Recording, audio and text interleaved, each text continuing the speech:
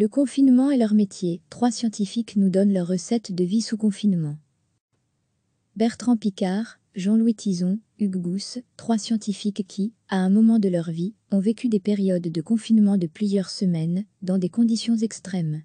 Bertrand Picard a réalisé avec son copilote un tour du monde à bord du Solar Impulse, l'avion solaire pourvu d'ailes gigantesques et d'un tout petit cockpit. Jean-Louis Tison, glaciologue de l'Ulbe, a mené pendant plus de 30 ans des expéditions en Antarctique au cours desquelles il s'est retrouvé, à plusieurs reprises, coincé sous tente pendant plusieurs semaines. Hugues Gousse, climatologue à Luc Louvain a vécu deux mois, dans un conteneur au milieu des glaces du continent antarctique, lui aussi. Ces trois scientifiques sont, en quelque sorte, des professionnels du confinement. Au cours des années, ils ont beaucoup appris de ces situations particulières. Il faut vivre dans l'instant scientifique et aventurier, Bertrand Picard est aussi psychiatre. Selon lui, l'important est de ne pas se projeter dans l'avenir. Il faut vivre dans l'instant présent, il faut se connecter à soi-même, sur sa sensation d'exister dans son corps, dans la sensation du moment présent, dans ce qu'on fait, dans ce qu'on pense, dans ce qu'on dit aux autres, dans ce que les autres nous disent. Et ce qui est assez spectaculaire, quand on arrive à faire ça, c'est que le temps ne compte plus. En fait, on se déplace avec le temps et tout à coup, quand c'est fini, on est tout surpris que le confinement soit terminé. Un conseil tiré de son tour du monde de la Terre. C'est exactement ce qu'on a vécu avec Brian John, dans notre tour du monde en ballon, parce que si on avait compté les jours, cela aurait été horrible. Alors que vivre le moment présent en permanence est une expérience quasiment spirituelle. Je lisais chaque jour deux pages de Manon des sources à mes collègues anglophones en prenant l'accent du midi, le glaciologue belge Jean-Louis Tison a mené de multiples expéditions en Antarctique. Avec ses collègues, il a vécu dans des conditions particulièrement spartiates.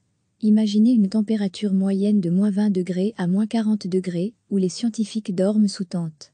En 1984, alors qu'il travaillait sur la péninsule antarctique, avec une collègue anglophone et un guide de montagne également anglophone, ils doivent affronter une tempête qui les cloue sous leur tente pendant trois semaines. Jean-Louis se souvient, nous avons coupé les cartons de nos boîtes de sucre pour bricoler un jeu de 54 cartes. Dans ces moments, nous cherchons tous à nous occuper mais notre tente ne faisait que 2 x 2 mètres. Un espace plutôt restreint. Chaque jour, mes compagnons d'infortune me demandaient de lire deux pages du livre de Marcel Pagnol, Manon des sources, si possible avec l'accent du midi.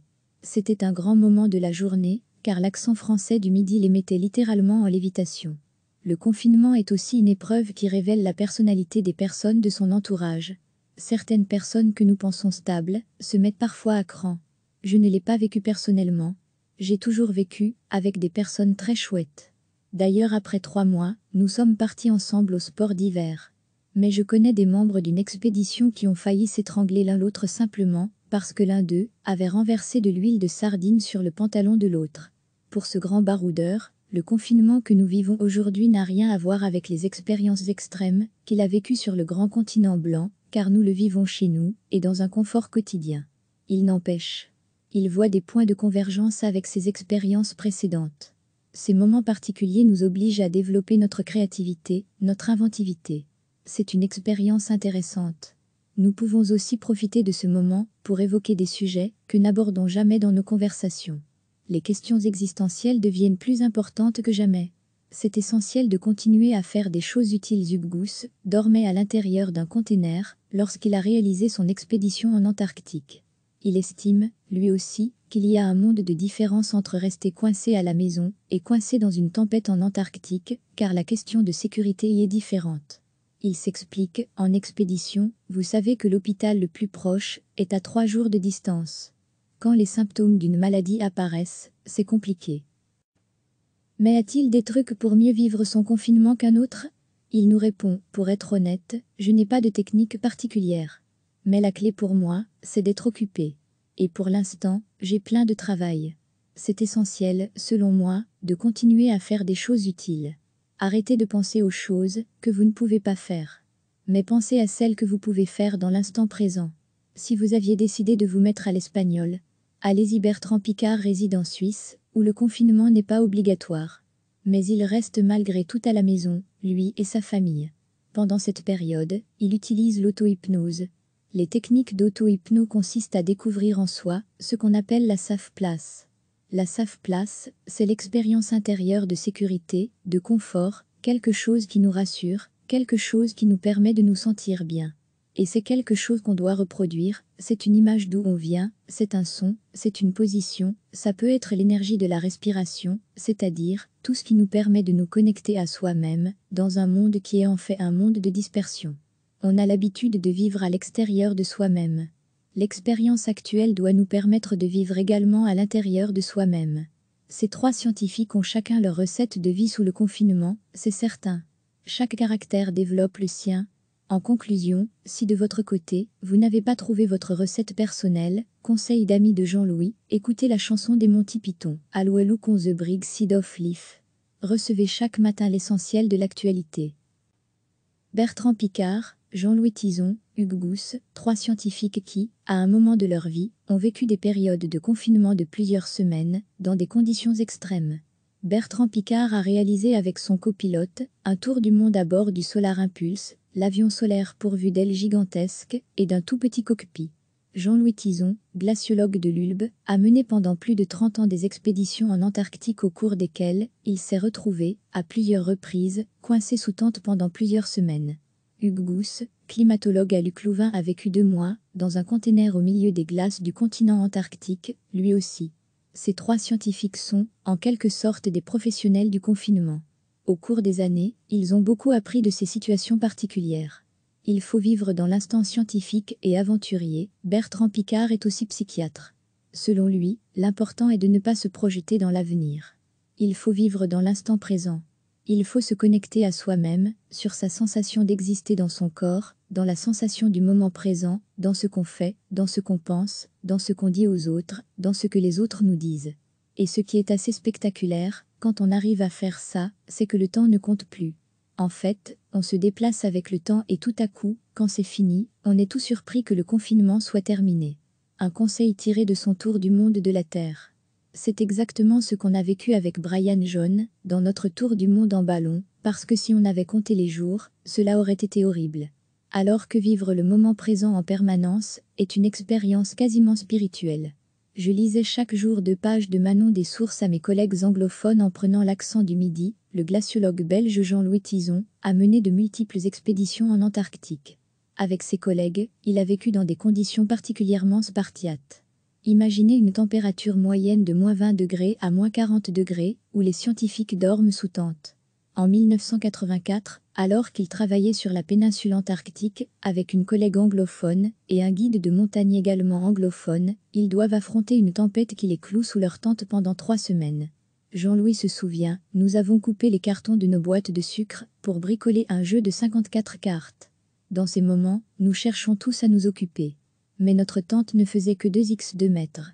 Un espace plutôt restreint. Chaque jour, mes compagnons d'infortune me demandaient de lire deux pages du livre de Marcel Pagnol, Manon des sources, si possible avec l'accent du midi. C'était un grand moment de la journée, car l'accent français du midi les mettait littéralement en lévitation. Le confinement est aussi une épreuve qui révèle la personnalité des personnes de son entourage. Certaines personnes que nous pensons stables se mettent parfois à cran. Je ne l'ai pas vécu personnellement. J'ai toujours vécu avec des personnes très chouettes. D'ailleurs après trois mois, nous sommes partis ensemble au sport d'hiver. Mais je connais des membres d'une expédition qui ont failli s'étrangler l'un l'autre simplement parce que l'un d'eux avait renversé de l'huile de sardine sur le pantalon de l'autre. Pour ce grand baroudeur, le confinement que nous vivons aujourd'hui n'a rien à voir avec les expériences extrêmes qu'il a vécues sur le grand continent blanc, car nous le vivons chez nous et dans un confort quotidien. Il n'empêche. Il voit des points de convergence avec ses expériences précédentes. Ces moments particuliers nous obligent à développer notre créativité, notre inventivité. C'est une expérience intéressante. Nous pouvons aussi profiter de ce moment pour évoquer des sujets que n'abordons jamais dans nos conversations. Les questions existentielles deviennent plus importantes que jamais. C'est essentiel de continuer à faire des choses utiles. Zubgous dormait à l'intérieur d'un container lorsqu'il a réalisé son expédition en Antarctique. Il estime, lui aussi, qu'il y a un monde de différence entre rester coincé à la maison et coincé dans une tempête en Antarctique, car la question de sécurité y est différente. Il s'explique, en expédition, vous savez que l'hôpital le plus proche est à trois jours de distance. Quand les symptômes d'une maladie apparaissent, c'est compliqué. Mais a-t-il des trucs pour mieux vivre son confinement qu'un autre? Il nous répond, pour être honnête, je n'ai pas de technique particulière. Mais la clé pour moi, c'est d'être occupé. Et pour l'instant, j'ai plein de travail. C'est essentiel, selon moi, de continuer à faire des choses utiles. Arrêtez de penser aux choses que vous ne pouvez pas faire. Mais pensez à celles que vous pouvez faire dans l'instant présent. Si vous aviez décidé de vous mettre à l'espagnol, allez-y Bertrand Picard réside en Suisse, où le confinement n'est pas obligatoire. Mais il reste malgré tout à la maison, lui et sa famille. Pendant cette période, il utilise l'auto-hypnose. Les techniques d'auto-hypnose consistent à découvrir en soi ce qu'on appelle la safe place. La safe place, c'est l'expérience intérieure de sécurité, de confort, quelque chose qui nous rassure, quelque chose qui nous permet de nous sentir bien. Et c'est quelque chose qu'on doit reproduire, c'est une image d'où on vient, c'est un son, c'est une position, ça peut être l'énergie de la respiration, c'est-à-dire tout ce qui nous permet de nous connecter à soi-même, dans un monde qui est en fait un monde de dispersion. On a l'habitude de vivre à l'extérieur de soi-même. L'expérience actuelle doit nous permettre de vivre également à l'intérieur de soi-même. Ces trois scientifiques ont chacun leur recette de vie sous le confinement, c'est certain. Chaque caractère développe le sien. En conclusion, si de votre côté, vous n'avez pas trouvé votre recette personnelle, conseil d'amis de Jean-Louis, écoutez la chanson des Monty Python, Allo con the Brig Seed of Leaf. Cliquez sur s'abonner pour recevoir les dernières nouvelles.